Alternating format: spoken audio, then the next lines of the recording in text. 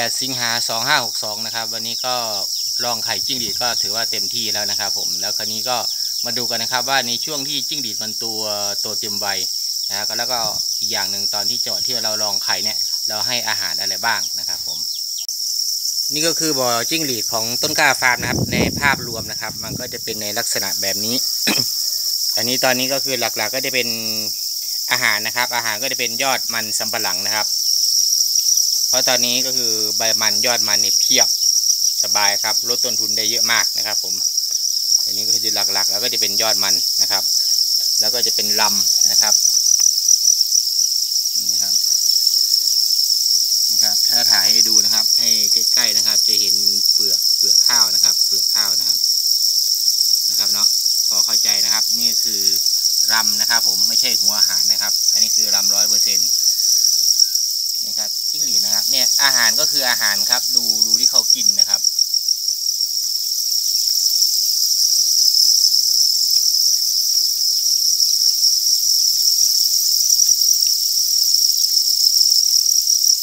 ขาวๆนั่นก็คือไข่จิ้งหรีดนะครับ ไข่จิ้งหรีดนะครับ ไม่ใช่เศษของขุยมะพร้าวแล้วนะครับ ดูนะครับดูจิ้งหรีดนะครับอย่ากัดหน้าอย่ากัดหน้า ดูนะครับ กินเนี่ยครับ ก็ถือว่าก็มันก็เหมือนกับมันกินอาหารทั่วๆไปนั่นแหละครับอย่าไปซีเรียสอะไรมากนะครับเกี่ยวกับอาหารนะครับ ผม ถ้าเกิดแต่ว่าถ้าเกิดเราพ่อถ้าเกิดเราไปซีเรียสกับถ้าเกิดเราไปซีเรียสกับอาหารที่เป็นหัวอาหารนะเราจะไม่ไหวนะครับ ผม อย่างนี้จะดีกว่านะครับเพื่อนๆลองพิจารณาดูนะครับ ผมก็คือไม่ต้องเชื่อก็คือเราก็แค่คิดแค่นั้นเอง ช้วิจารณญาณของตัวเราเองว่า ถ้าเกิดเราเลี้ยงแล้วเนี่ยเราใช้หัวอาหารนะมันจะรอดหรือไม่รอดนะครับ ถ้าเกิดเลี้ยงแบบนี้ก็คือเราเห็นด้วยตานะครับ อย่างที่ผมบอกนะครับ คือผมไม่ได้พูดให้ฟัง ไม่ได้เขียนให้อ่านนะครับ แล้วผมถ่ายให้ดูนะครับ ผมทั้งวิธีการเลี้ยงวิธีการดูแลการป้องกันนะครับ ผมแล้วก็อย่างที่นั่นก็คือว่าอย่างที่ผมบอกก็คือ การเลี้ยงของต้นกล้าฟาร์มนะครับ ไม่มีแหล่งน้ำร้อยเปอร์เซ็นต์นะครับยืนยันนะครับ ว่าไม่มีแหล่งน้ำ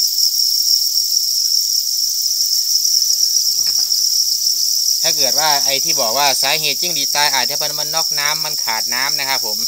การขาดน้ำของในที่นี้ก็อาจจะมีความแตกต่างกัน ไม่รู้ว่าขาดน้ำลักษณะไหน แต่ต้นกล้าฟาร์มนี่คือไม่มีแหล่งน้ำเลยนะครับ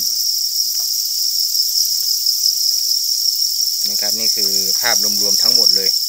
นะครับ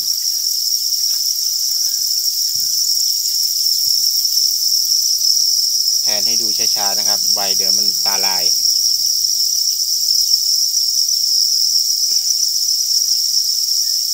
อันนี้คือช่วงนี้อย่างที่เห็นนะครับ เพื่อนๆจะเห็นว่าทางต้นกล้าฟาร์มตอนนี้ก็คือนำเสนอเรื่องของอตู้ฟักไข่ซะเป็นส่วนใหญ่คราวนี้เรื่องของการเลี้ยงจิ้งหรีดนี่ก็จะเป็นเรื่องของหน้าที่ของแม่ยายนะครับผม อันนี้ถ้าเกิดปกติถ้าเกิดเป็นผมผมก็จะเสริมขึ้นมาอีกแผงหนึ่งเสริมขึ้นมาให้จิ้งหรีดมันมันมีที่เดิน ที่อะไรมาก แต่นี่ก็คือเพื่อนก็จะไม่ค่อยสะดวกเท่าไหร่เท่าไหร่นะครับ ผมก็เลยเห็นว่ามันโบตรงกลางนะครับ ถ้าเกิดมาทำเองมันก็จะมีมีอีกร่องหนึ่งนะครับ ผมนะครับแต่ว่าแนวทางของเราก็ถือว่าชัดเจนนะครับ ผมนี่คือสายสายธรรมชาตินะครับ ก็จะเห็นจิ้งหรีดสายที่บอกว่าจิ้งหรีดเลี้ยงออร์แกนิกนะครับออร์แกนิกแต่หัวอาหารนี่กองบนภูเขาเลยนะครับ อย่างนี้ไม่ work นะครับ ถาดอาหารต้องเป็นถาดก้นตื้นอย่างนี้นะครับ ผม อันนี้น่าจะประมาณ 3 หรือ 4 เซนนะครับ อันนี้จิ้งหรีดมันเขี่ยเขี่ยออกไปไม่ได้นะครับ ถ้าเกิดเราให้เป็นแบนนะครับ ผม ความเสียหายเรื่องของอาหารเนี่ยจะสูงนะครับ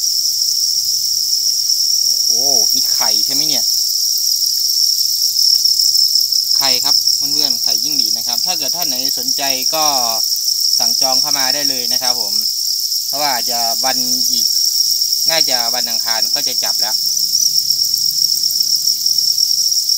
อัง คารที่ 20 นะครับ อังคารที่ 20 สิงหา 2562 นั่นก็คือ เราก็จับขายและจับจำหน่ายแล้วนะครับ ผม อันนี้คือให้เขากินแล้วเขาลองไข่นะครับ ผม เตรียมตัวละ เตรียมตัวก็คือออกสู่ท้องตลาดนะครับ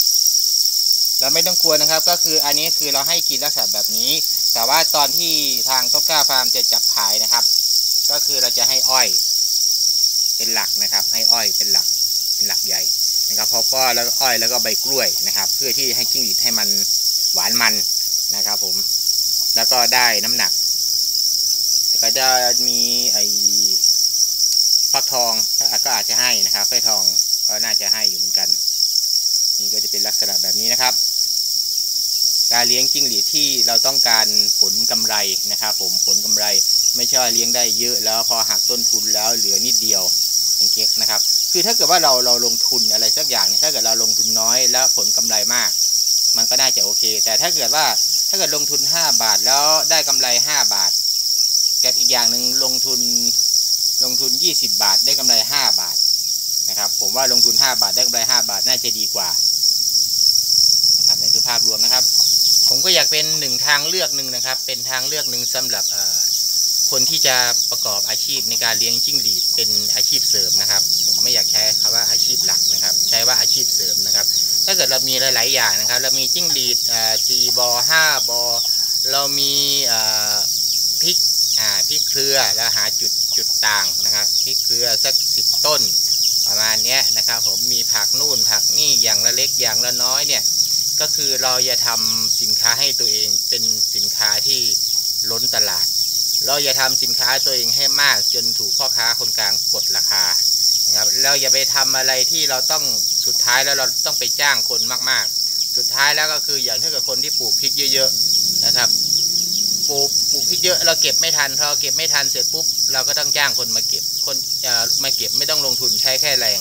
ปรากฏว่าพอเราเก็บพริกเยอะๆแล้วเราเอาไปขายเป็นไงครับพ่อค้าคนกลางบอกพริกเยอะขนาดนี้ผมจะไปขายที่ไหน มันเยอะนะครับพริกพริกมันเยอะๆ แล้วจะทำยังไงพอสุดท้ายก็คือว่าอย่างเงี้ยก็คือจากกิโลซะกิโลละเจ็ดสิบแล้วอาจจะเหลือกิโลละสี่สิบจากเจ็ดสิบเหลือสี่สิบ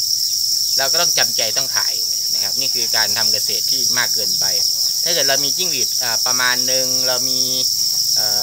อะไรอะด้วงสาคูเรามีอะไรพวกเนี้ยอย่างละเล็กอย่างละน้อยเรามีเป็ดเอ่อเรามีเป็ดเรามีไก่อะไรต่างๆเนี่ย อย่างละเล็กอย่างละน้อยรวมๆกันอย่างเงี้ยคือราคาเราจะไม่ถูกกดสักสักอย่างนะครับ แต่ถ้าเกิดอยู่ดีๆเราอัดพวดไปทีเดียวเนี่ยก็คือเรื่องปลูกแตงกวาปลูกแตงกวาไปทีไปเป็นรถกระบะรถกระบะเงี้ยก็คืออันนี้สนุกเลยแม่ค้าคนกลางเหยียบเหยียบเหยียบเหยียบเหยียบเพราะถ้าเกิดจะให้ซื้อราคาสูงๆเขาก็ไม่ได้เขาเห็นโอกาสนะครับ มันเป็นแบบนี้นะครับ อย่างผมก็ขอเป็นแนวทางนะครับ ผมกลับมาสู่เรื่องของจิ้งหรีดนะครับผมถ้าอยากนั่นถ้าเกิดว่าใครสนใจจิ้งหรีดสายพันธุ์นะครับ จิ้งหรีดสายพันธุ์เขาเรียกว่าธรรมชาตินะครับ สายพันธุ์ธรรมชาติสายพันธุ์ที่แข็งแกร่งที่สุดนะครับ ผมกล้ายืนยันเกี่ยวกับเรื่องของจิ้งหรีดผมว่าว่าแข็งแรงที่สุดนะครับ เพราะว่าหนึ่งเป็นธรรมชาติอีกอย่างหนึ่งก็คือจะสังเกตในเรื่องของอย่างที่ผมเห็นนะครับ เรื่องของระบบการระบายอากาศถือว่าดีที่สุดนะครับ ผมจะไม่อัดให้มันแน่นนะครับ พอมันแข็งแรงนะครับ พอมันแข็งแรงสุขภาพมันดี เพราะฉะนั้นการก่อโรคการเกิดโรคก็จะน้อยนะครับ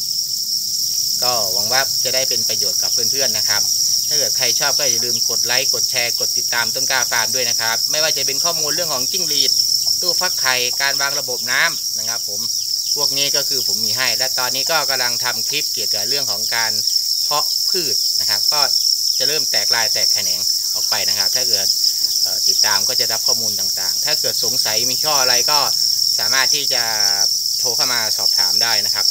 เพราะว่าเบอร์โทรผมก็ให้อยู่ที่หน้าปกคลิปนะครับผม โอเคครับ ขอบคุณมากครับ